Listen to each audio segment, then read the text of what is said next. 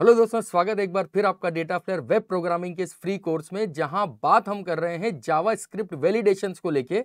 और last time अगर आपको याद है, अगर आपने लास्ट वीडियो देखा है तो आपको पता है कि हम लोग जो बात कर रहे हैं, वो फॉर्म वैलिडेशंस को लेके बात कर रहे हैं। ये हमारा फॉर्म है, जिस पर हमने मल्टीपल वैलिडेशंस अभी अप्लाई किए हैं, जहाँ पर हमने ब्लैंक वैलिडेशंस को चेक किया है कि आपकी कोई भी फ़ील्ड ब्लैंक नहीं होनी चाहिए राइट जहाँ पर हमने बात की है कि बॉस यदि आप पासवर्ड और कन्फर्म पासवर्ड डिफरेंट देते हैं। मान लो मैंने पासवर्ड दिया and this is the different password so will get password and confirm password must be same right then हम लोगों ने बात की थी कि बॉस यदि आपके number field more than hundred है, क्योंकि हम फिजिक्स के मार्क्स की बात कर रहे हैं so it gives invalid physics marks right तो ये सारे वैलिडेशन अभी तक हम लोगों ने चेक किए हैं, लेकिन लास्ट टाइम भी मैंने आपको बोला था कि अब जो वैलिडेशन हम अप्लाई करने वाले हैं, वो ये है कि मान लो अगर ये मेरी आईडी फ़ील्ड है है ना? कोई भी न्यूमेरिकल फ़ील्ड की हम बात करें, चाहे वो फिजिक्स के मार्क्स की बात हो। यदि मैं यहाँ पर अभी गलत डेटा एंटर कर रहा हूँ, मान लो फिजिक्स के मार्क्स में मैंने दे दिया हेलो ठीक है? जबकि ये न्यूमेरिकल फ़ील्ड है।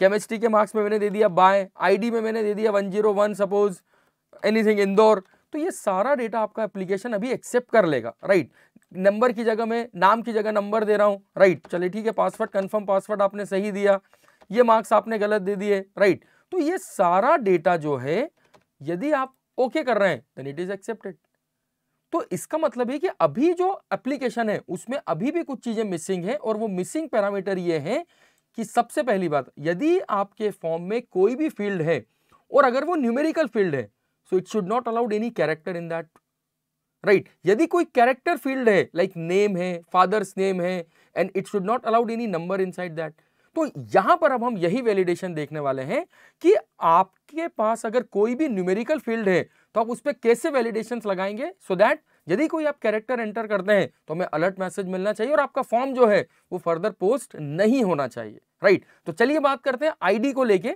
फिर एक बार अगर आईडी के लिए ये कॉन्सेप्ट समझ में आ गया तो फिर इसको फिजिक्स केमिस्ट्री मैथ्स पे भी हम अप्लाई कर सकते हैं एज इट इज़ तो देखिए सिंपल सा लॉजिक क्या है इसका कि हमें ये चेक लगाना है कि यदि मेरा आईडी ब्लैंक नहीं है है ना? If ID not equal to blank तो मुझे ये चेक करना है कि बॉस कहीं मैंने उस आईडी में कोई कैरेक्टर तो एंटर नहीं कर दिया है। तो उसका सिंपल सा लॉजिक ये है कि आपको उस पर्टिकुलर आईडी वाले टेक्स्ट बॉक्स के हर एक कैरेक्टर को फैच करना है।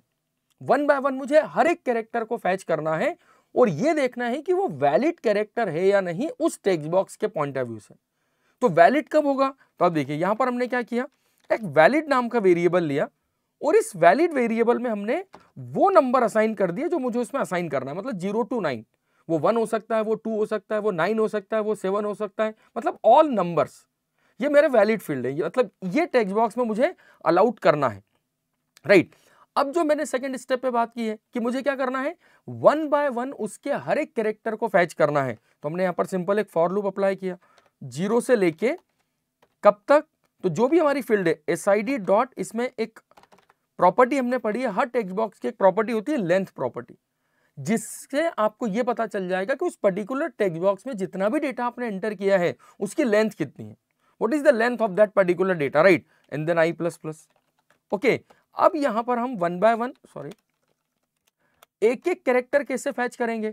तो इस एस नाम के वेरिएबल में या सी एच नाम के वेरिएबल में हमें उस एस आई डी फ़ील्ड का हर एक कैरेक्टर चाहिए। So there is a function call caret char at character at right तो ये देख लेते हैं सबसे पहले कि मुझे वन बाय वन सारे कैरेक्टर फैच होके मिल रहे हैं या नहीं मिल रहे हैं राइट तो आप देखिए सिंपल सा लॉजिक हमने क्या लगाया कि यदि आपका आईडी फ़ील्ड ब्लैंक नहीं है तो फ़िलहाल इस वैलिड को भी अभी आप दो मिनट के लिए छोड़ो। हमें उस बॉक्स के हर एक कैरेक्टर को एक्सेस करना है तो एक फ़ंक्शन है that is called caret function so let's see practically मैं आपको बताता हूँ ये चीज़। ये देखिए, आप मान लो मैं यहाँ एंटर करता हूँ, अगर one one V I one two something like this right तो इसमें मैंने कैरेक्टर भी दिया है। तो आप देखिए, ये वन बाय वन मुझे कैरेक्टर बता रहा है कि this is one one V I two ठीक है? And then student name can not be blank वो अगला वैलिडेशन है। लेकिन यहाँ पर अब मुझे क्या अलाउड करना है? केवल नंबर तो आप देखिए, क्या किया हमने? जो कैरेक्टर आपको वन बाय वन मिल रहे हैं, हम ये पूछते हैं कि बॉस आप वैलिड में मुझे उसका इंडेक्स नंबर बताओ। सुनना ध्यान से। कॉन्सेप्ट क्या है? कि वैलिड में आपके पास एक स्ट्रिंग है, एक नंबर की स्ट्रिंग है, इसमें हर एक कैरेक्टर एक इंडेक्स नंबर पर है। ज़ीरो ज़ीरो पोजीशन पे है वन वन पोजीशन पे है टू टू पोजीशन पे है, और इंडेक्सिंग हमेशा ज़ीरो ऑनवर्ड शुरू हो रही है। इंडेक्स ऑफ़ एक फ़ंक्शन होता है, जिससे आप किसी भी ऑब्जेक्ट में स्टोर डेटा का इंडेक्स नंबर पता कर सकते हैं। तो यदि मैंने बोला valid dot index of C H मतलब जो कैरेक्टर मुझे मिला है उसका वैलिड में इंडेक्स नंबर क्या है? यदि वो कैरेक्टर वैलिड में होगा तो उसका इंडेक्स नंबर होगा। और अगर आपका कैरेक्टर वैलिड में एग्जिस्ट ही नहीं कर रहा है तो उसका इंडेक्स नंबर नहीं होगा। और अगर इंडेक्स नंबर नहीं होगा मतलब वो माइनस वन होगा। तो हमने ये लॉजिक लगाया कि बॉस हम एक एक करके कैरेक्टर उस टेक्स्ट बॉक्स से फैच करेंगे और वैलिड में उसका इंडेक्स नंबर देखेंगे। यदि आपका कैरेक्टर वैलिड में एग्जिस्ट करेगा, मान लो मैंने नंबर दिया थ्री तो थ्री का इंडेक्स नंबर थ्री ही होगा। सेवन तो सेवन का इंडेक्स नंबर सेवन ही होगा। लेकिन अगर मैंने दिया मान लो जेड तो जेड इसमें नहीं है ना? तो मुझे इंडेक्स क्या मिलेगा? माइनस वन तो हमें यही करना है कि अगर इंडेक्स माइनस वन है तो हमने मैसेज दे दिया only number allowed in ID field in ID ठीक है only number allowed in ID और वापस से फोकस आईडी पे ही सेट करना है। तो यहाँ पर हमने वापस से फोकस आईडी पे ले लिया। ठीक है? और एक मैंने आपको याद करो फ़ंक्शन बताया था कि जिससे आप उसको सिलेक्ट कर सकते हैं सी दिस वन ये हमने एक सिलेक्ट फ़ंक्शन देखा था। ये document dot get element by ID तो हमने फोकस सिलेक्ट कर लिया कहाँ पे? एस टी पे। ठीक है? मतलब ये दोनों कॉन्सेप्ट हम लास्ट टाइम देख चुके हैं तो आई होप इस कॉन्सेप्ट को आप समझ पा रहे हैं। केवल ये नया कॉन्सेप्ट ये है कि आपको ये चेक लगाना है कि बॉस, कहीं मैंने आईडी में कैरेक्टर तो एंटर नहीं कर दिया है। तो कैरेक्टर एंटर करने के लिए हमने एक एक करके उसके हर एक कैरेक्टर को फैच किया और एक वैलिड नाम के वेरिएबल में वो नंबर ले लिए जो उसमें आपको अलाउड करना है। सिंपल है यार, समझने की कोशिश कर। वैलिड में आपके पास वो नंबर है जो आपको अलाउड करना है। अब आपने जब one by one character fetch किए तो यदि आपका फैच किया हुआ कैरेक्टर वैलिड में होगा तो उसका इंडेक्स नंबर होगा। नहीं होगा तो इंडेक्स नंबर माइनस वन होगा। तो हमने बोला, एक भी अगर ऐसा मिल जाए तो आप तो अलर्ट मैसेज दे दो, ठीक है? और यहाँ से रिटर्न कर दो फॉल्स ताकि आगे कोई चेक लगाना ही ना पड़े। रिटर्न फॉल्स राइट तो अब आप देखो, आप यहाँ पे, यदि मैं इस एप्लीकेशन को रन करता हूँ, ठीक है? इफ़ आई रन दिस अब मैंने इसमें नंबर दिया, मान लो वी या वन वी ज़ीरो टू ठीक है? सबमिट क्या भैया उसने only number allowed in ID और ये सिलेक्ट कर दिया। तो यदि आपने नंबर के अलावा कोई भी कैरेक्टर दिया तो ये एक्सेप्ट ही नहीं करेगा। सपोज़ मैंने यहाँ पर लिख दिया, विवेक, ठीक है? उसने सीधे मैसेज दे दिया only number allowed in ID field तो यहाँ पर अब आईडी में अगर मैं देता हूँ 102 तो ये वैलिड है। अब उसने जो मैसेज दिया है, वो नेम के लिए दिया है कि name should not be blank तो कॉन्सेप्ट आपको समझ में आ रहा होगा कि जब भी आपको किसी न्यूमेरिकल फ़ील्ड में ये वैलिडेशन लगाना है कि बस उसमें नंबर के अलावा कोई भी डेटा एक्सेप्टेबल नहीं होना चाहिए। So how we apply the validation for numbers got it ऐसा ही सेम वैलिडेशन हम किस पे लगा सकते हैं? फिजिक्स केमिस्ट्री मैथ्स पे। तो फिजिक्स केमिस्ट्री मैथ्स पे आपको कुछ नहीं करना है। केवल ये कोड हम एज इट इज़ लेते हैं और इसको हमने, जहाँ हमने फिजिक्स केमिस्ट्री मैथ्स के मार्क्स लिए हैं यहाँ पर एक वैलिडेशन हमने फिजिक्स के लिए ये भी लगाया है कि ज़ीरो से बिलो या हंड्रेड के अबव नहीं होने चाहिए राइट तो यहाँ पर ये वैलिडेशन हम ये भी लगा देते हैं। सिंपल है, केवल आपको चेंज ये करना है कि नाउ इट्स एस फिजिक्स जो आपका वेरिएबल है, वो एस फिजिक्स है। ठीक है? और यहाँ पे अलर्ट में मैसेज देना only number allowed in physics marks ठीक है, और फोकस वापस हमने फिजिक्स पे सेट कर दिया S T P H Y and again it is S T P H Y तो सेम आप फिजिक्स के लिए केमिस्ट्री के लिए मैथ्स के लिए, तीनों पे सेम वैलिडेशन हम अप्लाई कर सकते हैं। गॉट माई पॉइंट तो न्यूमेरिकल वैलिडेशन बहुत इंपॉर्टेंट है। कई बार आप जब रजिस्ट्रेशन फॉर्म बनाओगे so there are multiple field जहाँ पर आपको उसमें केवल नंबर अलाउड करने होंगे। So how to check this validation I hope आपको समझ में आ रहा है। राइट लेट सी एक बार इसको एग्जीक्यूट करके देखते हैं हम। दो फ़ील्ड के लिए। मान लो मैंने यहाँ पर 101 दिया, ठीक है, यहाँ पर मैंने 101 के साथ वी लिख दिया तो वो यही वैलिडेशन अच्छा okay I think there are some bracket की कोई मिस्टेक होगी। लेट्स सी चेक कर लेते हैं। एक ब्रैकेट कम लगाया है दैट्स इट क्योंकि देखिए, अब मैं आपको बोलता हूँ ना JavaScript is not a compiled language तो यहाँ पर अगर एरर है भी तो वो एरर शो नहीं करेगा because it is not a compiled language right तो इसलिए आपको बहुत केयरफुली कोड लिखना पड़ता है।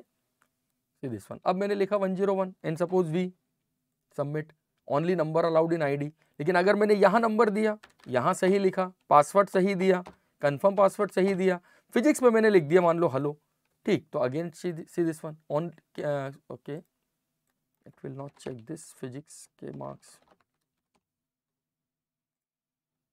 chemistry can not be blank इसका मतलब है कि वो एस फिजिक्स को चेक इसलिए नहीं कर पा रहा है क्योंकि हमने एसआईडी का कैरेक्टर मांगा है, जबकि हमें कैरेक्टर चाहिए एस फिजिक्स का। ठीक है कॉपी पेस्ट में भी थोड़ा सा सोचना पड़ता है ना। हमने कॉपी पेस्ट तो कर लिया, लेकिन यहाँ पर चेंज नहीं किया था। इसलिए उसने फिजिक्स की जगह आईडी से कैरेक्टर निकाले। तो वो तो वैलिड ही थे ना, अभी हम वन ज़ीरो वन ही देके आ रहे थे। नाउ इट्स ओके चलिए देखते हैं अब यहाँ पे। अब मैंने आईडी दिया बिल्कुल सही, नाम मैंने दिया सही पासवर्ड आपने दिया सही one two three one one one again one one one physics marks मैंने लिख दिया मान लो हलो ठीक है and see this one only number allowed in physics marks right and अब मैंने अगर नंबर दिए तो सेम वैलिडेशन मुझे केमिस्ट्री के लिए भी लगाना पड़ेगा. अभी मैं केमिस्ट्री में, मान लो हलो लिख रहा हूँ तो ये एक्सेप्ट कर लेगा. ठीक है? या मैंने यहाँ पर अगर कुछ लिख दिया, मान लो बाय लिख दिया तो ये ये भी एक्सेप्ट कर लेगा see this one form post हो गया. तो अभी हमने केमिस्ट्री और मैथ्स पे ये वैलिडेशन नहीं लगाए हैं। तो कुछ नहीं करना है, बस ये कॉपी पेस्ट ही तो करना है आपको। तो आई होप आपको ये छोटा सा कॉन्सेप्ट समझ में आया है और ये छोटा नहीं है, बहुत इंपॉर्टेंट कॉन्सेप्ट है। हालाँकि H T M L five में भी ऑल्सो है वन टेक्स्ट कंट्रोल जो केवल न्यूमेरिकली अलाउड करेगा। तो आप चाहें तो उस टेक्स्ट कंट्रोल को भी यूज़ कर सकते हैं। Input type equal to number कि जहाँ पर वो नंबर के अलावा कोई दूसरा डेटा एक्सेप्ट नहीं करेगा। But how this actually code कैसे लिखेंगे? दैट इज़ मोर इंपॉर्टेंट क्योंकि देखिए, मैं आपको हमेशा एक चीज़ बोलता हूँ कि कोई भी टेक्नोलॉजी जब आप पढ़ेंगे ना तो दो तरीके से पढ़ना पड़ेगा। एक कंपनी में जाने के लिए और एक कंपनी में रहने के लिए। जब इंटरव्यू होगा तो वहाँ पर आपसे ये कोड भी पूछे जा सकते हैं। क्योंकि tell me the coding of numerical validation तो आपको ये पता होना चाहिए कि न्यूमेरिकल वैलिडेशन कोड किस तरीके से लगाए जाते हैं। तो आई होप आपको ये कॉन्सेप्ट समझ में आया है कि किस तरीके से हम एक न्यूमेरिकल फ़ील्ड के वैलिडेशन को चेक कर सकते हैं। ठीक है? अब इसके बाद जो नेक्स्ट वैलिडेशन हम अप्लाई करेंगे, वो होगा हमारा नेम को लेके। कि यदि मान लो मैं नाम में अभी 101 लिख रहा हूँ तो वो नाम में भी नंबर अलाउड करेगा। मान लो यहाँ तो मैंने सही दिया पासवर्ड मैंने सही दिया। कंफर्म पासवर्ड सही है फिजिक्स के मार्क्स ठीक है केमिस्ट्री के मार्क्स ठीक है मैथ्स के मार्क्स ठीक है, लेकिन नंबर की जगह, नाम की जगह मैंने 102 लिखा है। बट इट एक्सेप्ट इट तभी तो उसने अगला पेज ओपन कर दिया। तो यहाँ पर अब हमें ये चेक करना है कि बॉस कैरेक्टर वैलिडेशंस किस तरीके से लगाए जाते हैं। क्योंकि कई बार जब आप फॉर्म फिलअप करेंगे so there are lot of field जहाँ पर कैरेक्टर वैल्यूज़ होंगी। और वहाँ पर आपके न्यूमेरिकल अलाउड नहीं होना चाहिए। तो चलिए मिलते हैं नेक्स्ट लेक्चर में इसी कॉन्सेप्ट के साथ कि how to apply character validation in form using JavaScript ठीक है तो आई होप आपको ये कॉन्सेप्ट समझ में आ रहा है। वेलिडेशन बहुत इंपॉर्टेंट कॉन्सेप्ट है। क्लाइंट साइड वेलिडेशन किस तरीके से हम यूज़ करते हैं यूजिंग जावा स्क्रिप्ट समझ में अगर आ रहा है तो प्लीज़ वीडियो दोस्तों के साथ शेयर करिए और बने रहिए इस कोर्स के साथ, क्योंकि अभी बहुत इंपॉर्टेंट कॉन्सेप्ट आगे हम डिस्कस करने वाले हैं। तो चलिए मिलते हैं नेक्स्ट लेक्चर में। Till then take care bye